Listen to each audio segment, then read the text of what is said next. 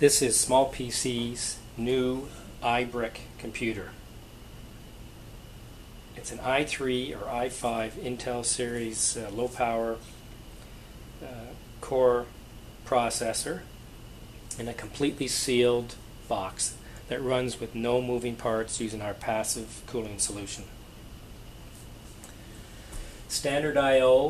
includes three USB ports, a LAN port. This one happens to have uh, two LAN ports, an extra LAN port here, and an HDMI port.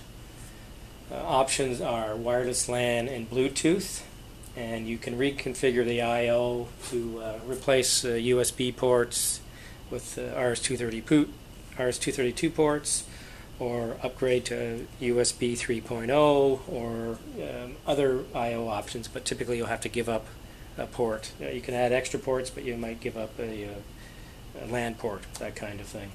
Um, there's also a second HDMI port available or a Thunderbolt uh, port.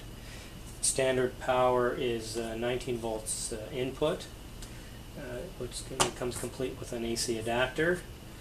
Or it's available with a rugged intelligent vehicle power supply which takes uh, 6 to 34 volt DC input range and has the intelligent uh, ignition shutdown features for graceful shutdown.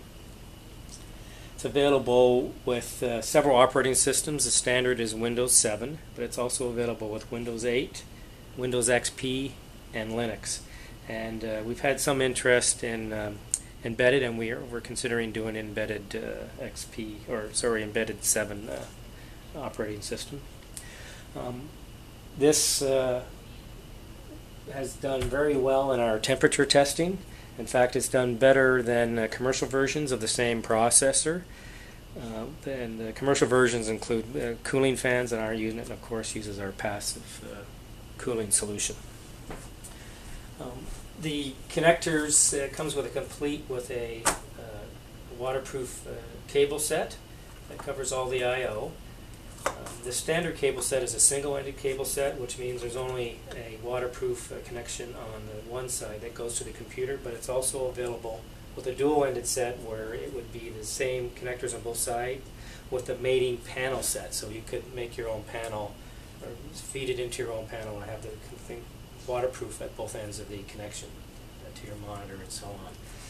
And I'll just show you, you know, this is a simple uh, connection here. This one's like a quarter twist connector. You got yourself a completely sealed uh, connection. And uh, that about covers it. Thanks.